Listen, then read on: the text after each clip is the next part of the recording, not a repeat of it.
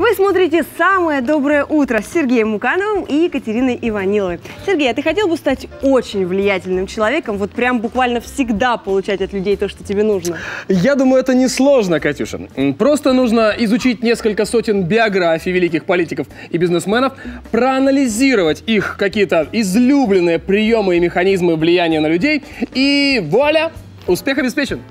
Все можно сделать гораздо быстрее и гораздо проще. Достаточно изучить несколько правильных жестов. А их нам покажет наша рубрика «Зарядка для успеха» и Ольга Полищук.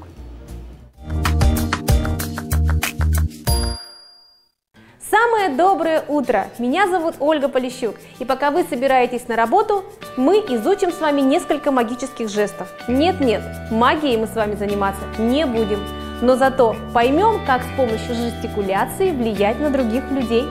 Знаете ли вы, что жесты очень влиятельны, поскольку они не осознаются человеком, то информация, переданная через определенный жест, попадает прямо на подсознание человека.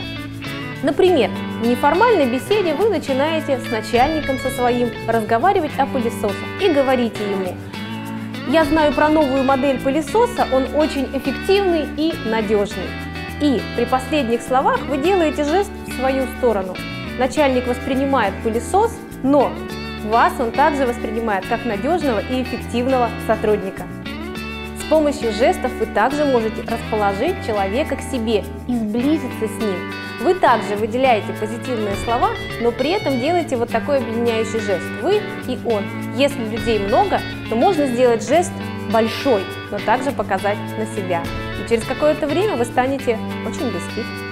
Можно убрать ненужного вам спорщика, если делать жесты в его сторону при отрицательных словах. Например, вы рассказываете, погода сегодня какая-то гнусная, ужасная, противная. Все воспринимают про погоду, а вот эта вся гнусность вешается на него. Существуют жесты объединения. Их используют лидеры и политики в своей практике. Можно делать руками, а можно просто ладошкой. После таких жестов у людей появляется желание к совместным действиям и взаимоподдержке.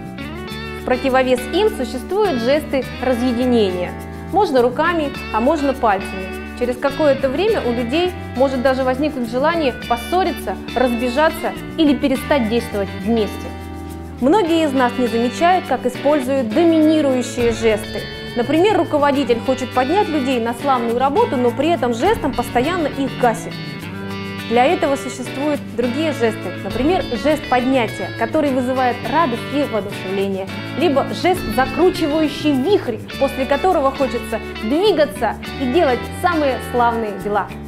А еще темп вашей жестикуляции задает ритм другим людям. Хотите спокойствия? Замедляйтесь сами. А если ждете от других движений и динамики, ускоряйте темп.